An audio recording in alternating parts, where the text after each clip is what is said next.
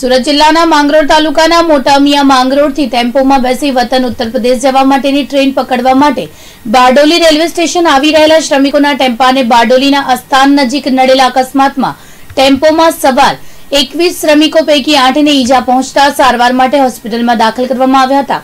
હાલ લોકડાઉનની પરિસ્થિતિમાં મોટામિયા માંગરોળ ખાતે રહેતા ઉત્તર પ્રદેશના શ્રમિકોએ વહીવટીતંત્ર પાસે વતન જવા માટેની પરવાનગી માંગી હતી, જે પરવાનગી મળી જતા એકવીસ જેટલા શ્રમિકો ટ્રેન પકડવા માટે બારડોલી રેલવે સ્ટેશન તરફ આવી રહ્યા હતા.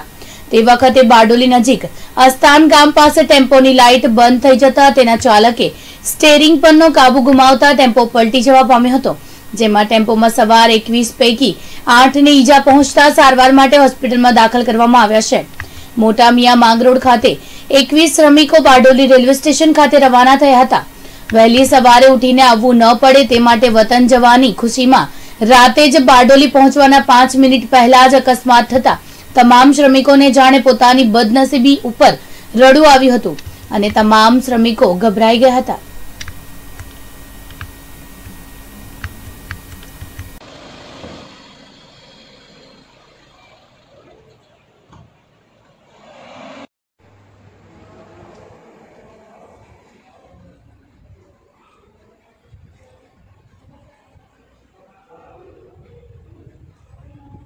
બે રેડી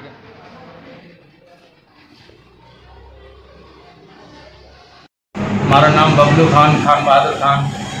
ક્યાં જતા હતા ને શું થયું છે? અમે માંગરોળથી આવતા હતા બારડોલી અમારી બારડોલી હવારમાં ટિકિટ થયેલી છે યુપી જવા માટે. એટલે અમે એકવીસ જણ હતા. તે ટેમ્પા પરથી મારી ગયેલા.